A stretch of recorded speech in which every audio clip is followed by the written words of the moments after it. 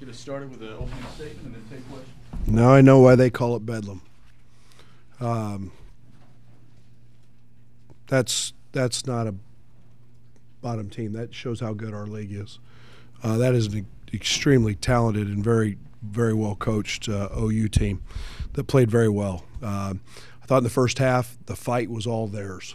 I didn't think we fought very very hard. I thought they were physical. I thought they uh, they came at us and uh, really had us back on our heels. Um, really, in all facets, both ends of the court. Uh, I think they had uh, 18 uh, points in the paint the first half and made seven threes. And um, the second half then became a little different story. We were able to slow that process down a little bit. Um, but um, I told our team at halftime, let's just keep the game civil. And I tried in the first half to, to create a little tempo, and they exposed us. And uh, I did that by you know running and jumping a little bit. And, and uh, then in the second half, we didn't do it as much, and uh, just tried to sit down and guard. Um, and um, I felt like we would get shots.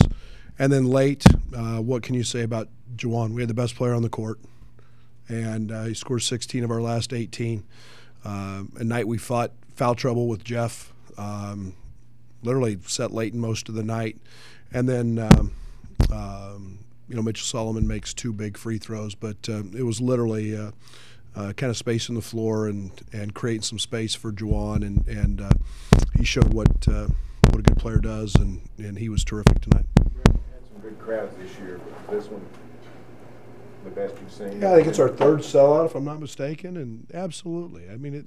The, to me, it's this is what makes college the college experience special is is rivalries. It, it, it goes beyond the players and the coaches and the teams. It goes it, it, encompasses the universities and, and a whole state. And uh, you're talking about a, a lot of alumni scattered around the state. And uh, you know people drove up from Texas for this and, and came down from Kansas and wherever they came from. And that's moving and that's special. And and uh, you know, we hadn't been very competitive in this rivalry, and um, uh, you know, we we were uh, we were fortunate tonight. Coach, when you set goals for the season, and obviously it's been a grind in the Big 12, and you start out 0 and 6. Now you find yourself at 7 and 7. Is there kind of a okay? We're there now. We, we've reached a, at least some sort of goal and go from there. Is it? I is hope that a demarcation kind of line? I hope not. I hope we haven't done that. I'm really proud because uh, we we're learning to fight, you know. And, and I, I think we were down 14. Um, I'm not sure during that 0 and 6 stretch or before that, this team would not have folded their tent. But we've continued to grind, and that's a that's that's uh, a tribute to our leaders and Phil and Jawun, who were both in here, Leyton Hammond, um, and we don't we didn't panic, and uh, um, we're everyday guys. I don't look at it. I couldn't even told you our record to be quite honest. I don't look at standings. Um, I don't pay much attention to anything that goes on. It is about the next game, and uh, it's the next practice. And are we better? Are we getting better? I think we're, we're, we're gaining confidence, and, and with confidence, you can do a lot of things.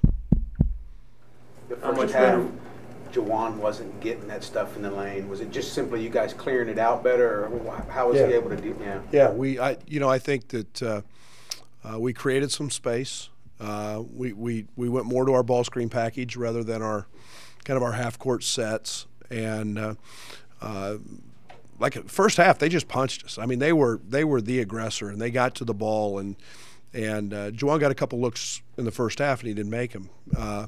But again, that, that stuff doesn't bother him. And and uh, you know, we just create a little space, and and uh, uh, Davon Dillard got a big offensive rebound on a miss, and, and all of a sudden, you know, Jawun's going.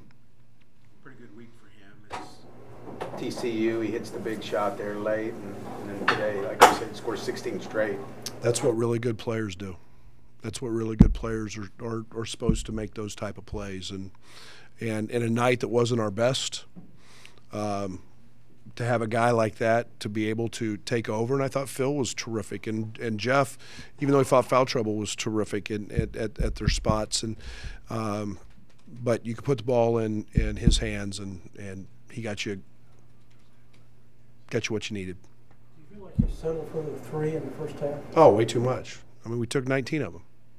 That's what we talked about at halftime. Let's let's be be aggressive. We didn't put any foul pressure on them at all. Uh, we didn't force them to guard. Everything was after one or two passes. Uh, there wasn't much. Um, there wasn't any flow, and uh, they had all the flow. They had all the momentum, and um, give them the credit. They des- they deserve that credit as as much as. Uh, um, as, as us, but uh, they did they did they were they were dialed in defensively and did a great job. Talk a little bit about Mitchell Solomon, if you would be, not just because he hit the two free throws, but he just seems to battle awfully hard, almost every possession. Well, and Stephen may help me here. I I think we're shooting 37 teams are shooting 37 or 38 percent in league play with him on the court, and it's about 46 with him off the court. He doesn't make mistakes. He is very, very seldom ever out of out of position. Uh, he, he's cerebral. We ask him. He gets put in a lot of ball screen coverages. He makes the right coverages. He competes. Never says boo about whether he scores 10 or whether he scores two. And uh, uh, Mitchell came a long way tonight because we're sitting in that timeout, and it's either going to be a three or four point game.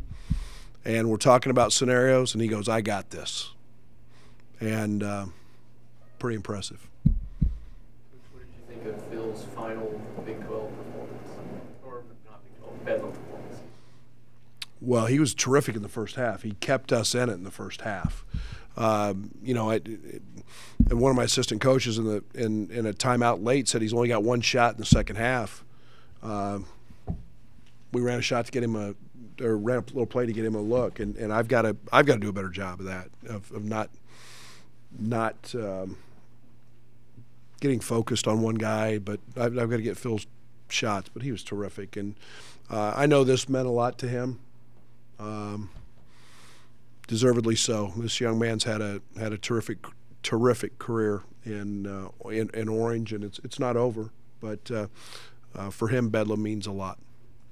You pay much attention to plus minus? All the time. Lit- plus 19. Yeah, my- it's it's every game.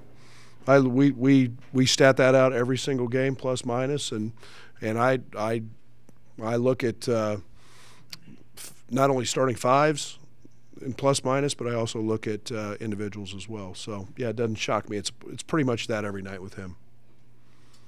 Since the uh, beginning of your tenure here, you've been very, you know, vocal about knowing, you know, the history and whatnot. What was it like to have Eddie Sutton sitting on the uh, sideline tonight? I told him before the game, this one's for him. That's a, that's that's special, man. That's that's uh, 806 wins. That's a guy that, uh, um, and and everybody everybody in the business knows he's a Hall of Fame coach. That guy's deserves to be, should be, will be at some point uh, a Hall of Fame coach. And uh, you don't do what he's done at so many different places. Um, he's one of the, he's one of the reasons I've said it many times. You want to come to a place like this. You can't recreate overnight what he did here, and and with Mr. Iba and so on and so forth. It makes this a special place. It means a lot. Thank, thank you.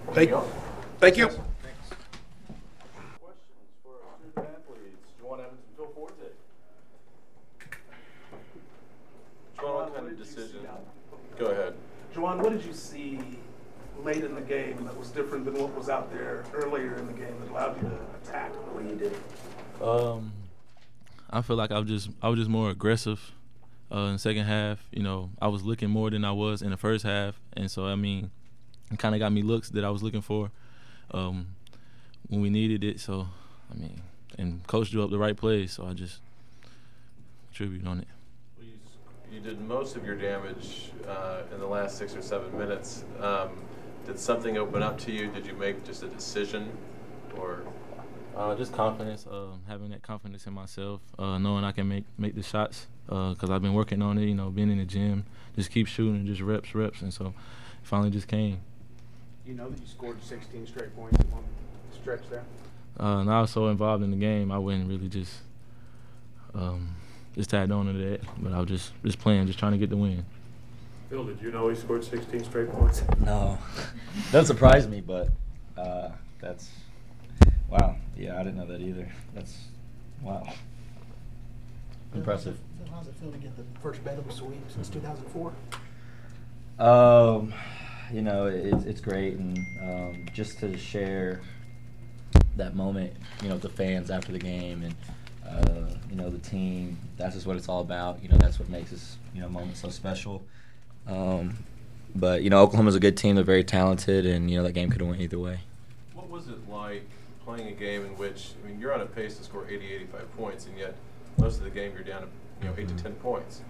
Um, did you have did you ever have a sense of when that was turning for you, or just what was that like out there? Uh, I think offensively, we knew we were fine. You know, we were going to score. That wasn't really our problem. We just knew we had to get a couple stops in a row, and so that's what we kept preaching timeouts is stop, stops, and if we could just get you know two or three in a row, and then we felt like we could kind of just chip back at it. And um, I think you got to give OU credit. They made some great shots. They uh, made us work on defense, and um, you know, it was a really back and forth game of two teams just uh, really just imposing their will on each other. Phil, you quipped after the, the Baylor game the fact that how much noisier this place could be if it had been packed. What Mhm. was today? What do you think?